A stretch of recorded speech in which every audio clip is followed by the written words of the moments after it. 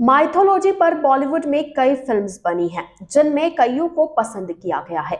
लेकिन एक फ़िल्म ऐसी रही है, जिसे नफरत और सिर्फ़ नफरत मिली थी, वो है आदि पुरुष। फ़िल्म के डायलॉग्स ऐसे थे कि विवाद होना निश्चित था, लेकिन अब एक बार फिर भगवान राम पर फ़िल्म बन रही है। एक्टर रणबीर कपूर की आने वाली फ़िल्म रामायण में वे भगवान राम का किरदार निभाते हुए नज़र आएँगे। ऐसे में जब सालों तक टेलीविज़न पर भगवान राम का किरदार निभाने वाले अरुण कोविल से पूछा गया कि उन्हें कैसा लगता है कि रणबीर कपूर राम भगवान के किरदार के साथ जस्टिस कर पाएँगे या नहीं?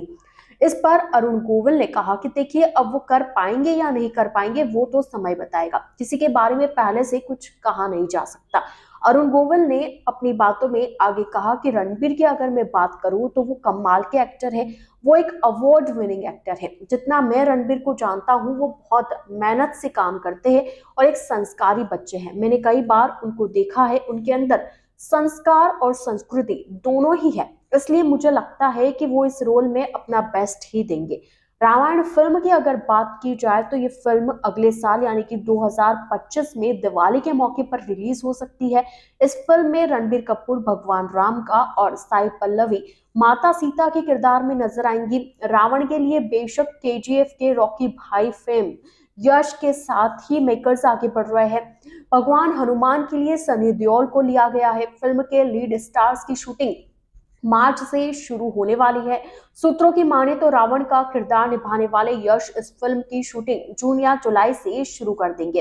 वे पंद्रह दिनों में अपने किरदार को पूरा शूट करेंगे। जुलाई तक रामायण के पहले पार्ट का शूट पूरा हो जाएगा। मेकर्स ने इस फ़िल्म के पोस्ट प्रोडक्शन के लिए डेढ़ साल का समय निर्धारित किया है।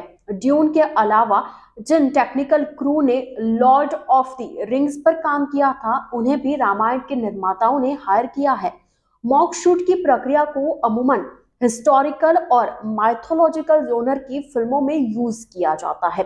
इसमें एक्चुअल शूट पर जाने से पहले कलाकारों का स्पेशल शूट में मोशन कैप्चर किया जाता है। वैसे फ़िल्म के स्टार कास्ट तो बेहद कमाल की है, सब बेहतरीन एक्टर्स है। लेकिन क्या आप लोगों को लगता है भगवान राम माता सीता, हनुमान जी और रावण के रोल में जिन एक्टर्स को कास्ट किया गया है, वो अपने किरदार में खरा उतरेंगे। क्या आपको लगता है कि आदि पुरुष जैसी फ़िल्म को देखकर मेकर्स ने सीख ली होगी और इस फ़िल्म को उस फ़िल्म की तरह ऐसे ही बेकार सी नहीं बनाएँगे? उस फ़िल्म में जिस तरीके से विवादित डायलॉग्स डाले गए थे, ऐसा इस फ़िल्म में कुछ नहीं होने वाला है।